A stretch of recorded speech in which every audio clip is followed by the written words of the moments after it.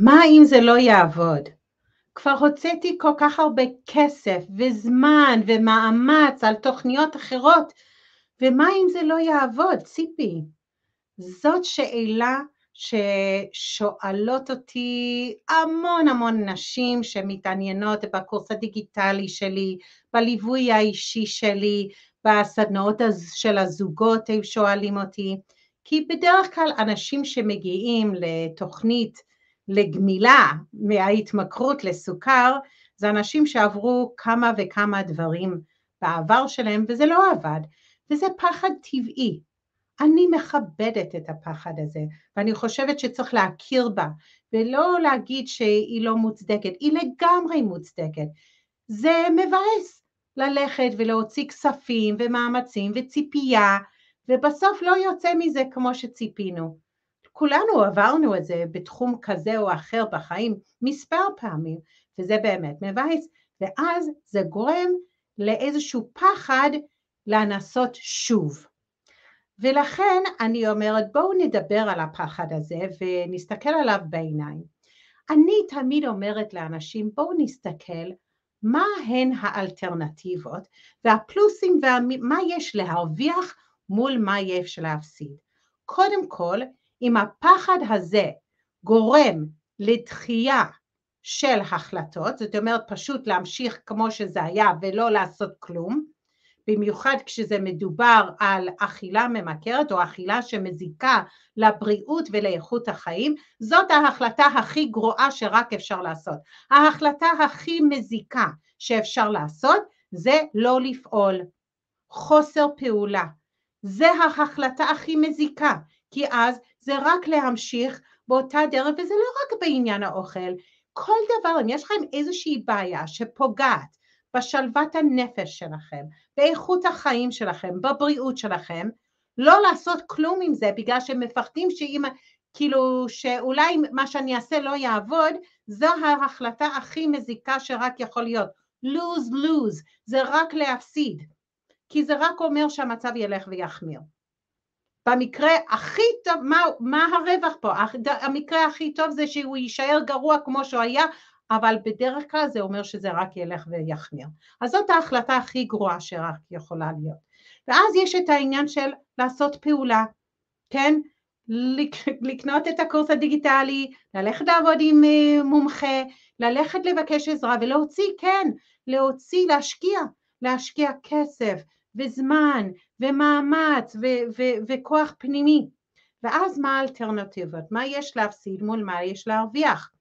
אם זה לא יעבוד, אז כן, זה מבאס. הוצאנו כסף, הוצאנו, השקענו זמן, השקענו באולי מאמץ פנימי, וזה לא עבד, או עוד פעם כאילו איזושהי הרגשה לפעמים, חוויה של כישלון, זה באמת לא פשוט. אבל אם נסתכל מה יש להפסיד, מול מה יש להרוויח אם אכן זאת הייתה התוכנית ששינתה את החיים, ששינתה לגמרי איך חושבים על אוכל, על הקשר עם האוכל, על איך שאני חושבת על עצמי, על הדימוי גוף שלי, על הדימוי העצמי שלי מול האוכל, על, השל... על ההרגשה העצמה ושליטה שיש לי באוכל וזה מה ששינה לי את החיים, האם לא אתם עומדים להרוויח הרבה הרבה יותר ממה שאתם עומדים להפסיד. ולכן כדאי לעשות את זה. לכן כי מה שיש להרוויח אם אכן צדקתם וזה באמת יצא התוכנית שעשתה את השינוי או הבן אדם או המטפל או הקבוצת תמיכה זה לא משנה מה כן אז מה שיש לכם להרוויח זה ממש החיים איכות החיים חוויית חיים נפלאה אנרגיה בריאות הרגשה של אני עשיתי את זה אני התגברתי אני, אני עכשיו זאת ששולטת בחיים שלי.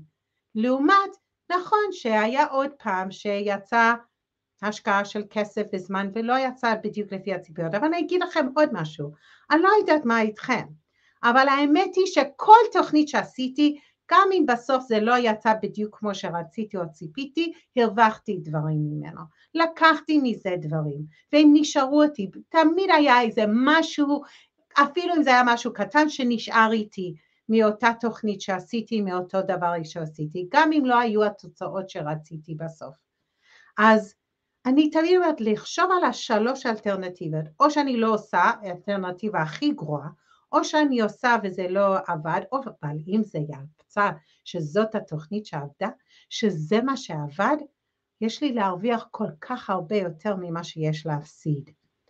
אז לכן אני אומרת לכם, גם אם ניסיתם, לא משנה אם הבעיה זה עם האוכל, אה, כן, שאתם כאילו בעודף משקל או, או חס וחלילה עם איזושהי קדם סכרת או כבר סכרת, יתר לחץ דם, ויודעים שחייבים לעשות איזשהו שינוי גדול, אבל אתם חוששים שעוד פעם, כאילו, והרבה פעמים לעשות שינוי גדול בחיים, צריך עזרה, זה קשה לעשות את זה לבד.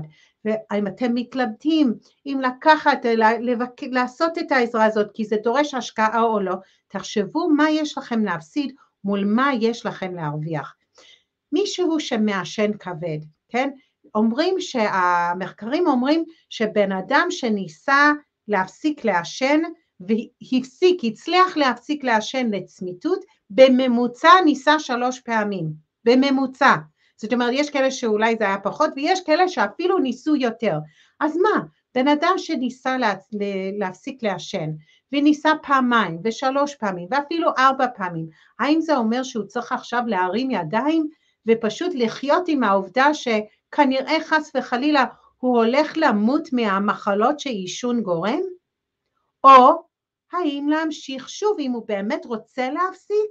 שינסה שוב, שינסה שוב, כי כל מה שזה אומר שהוא עוד לא מצא את השיטה או את התוכנית או את המטפל שבאמת יעשה בשבילו את הזמן, או שזה לא היה הזמן בדיוק, אבל ההצלחה עוד מחכה לו. ואני אומרת אותו דבר לאנשים שבמיוחד במיוחד בנושא הזה של לשנות, לעשות שינוי עמוק ואמיתי על הקשר עם האוכל והרגלי אכילה, משקל גוף, דימוי גוף, וכאילו במיוחד עם ההרגלים האלה גורמים לכם לעוגמת נפש, לפגיעה באיכות החיים, לאומללות, ופוגע לכם גם בבריאות. כי בריאות זה איכות חיים. אז אני אומרת לכם, גם אם ניסיתם מלא דברים והם לא עבדו, אל תתייאשו. אל תתייאשו, כי זה רק אומר שעדיין לא מצאתם את הזה שכן יעבוד בשבילכם, אז תמשיכו לנסות עד שתמצאו. כי ברגע שתמצאו ההבדל שזה עושה בחיים, הוא, יש לכם פשוט כל כך הרבה מה להרוויח, כל כך הרבה יותר מה להרוויח אם בסוף זאת התוכנית שעבדה, או זה המת... זאת ה... כאילו, כן, או זאת המטפלת שעזרה לכם, יש לכם כל כך הרבה יותר מה להרוויח ממה שיש לכם להפסיד אם זה לא עבד, ותחשבו כמה יש לכם להפסיד מזה שאתם לא עושים כלום. זה המסר שלי בשבילכם השבוע בציפי live. כאן ציפי לבנה, אחות ויועצת מוסמכת להתמכרות לסוכר.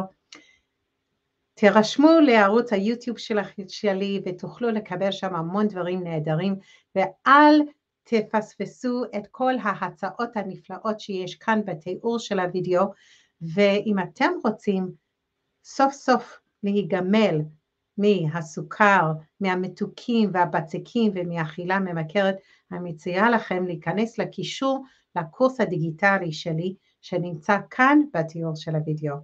ואני אראה אתכם, שיהיה לכם המשך יום נפלא, ערב מקסים, שבוע נהדר, ואני אראה אתכם יום שני הבא בשעה שש בציפי live. להתראות.